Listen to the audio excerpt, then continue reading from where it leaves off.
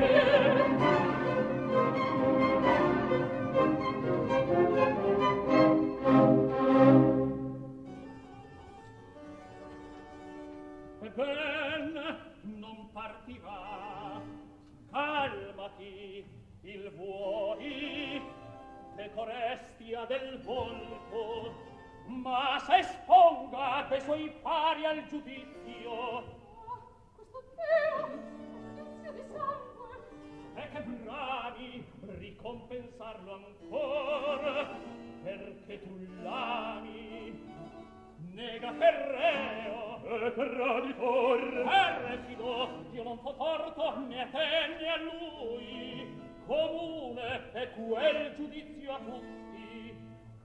Io m'allontano libero sia.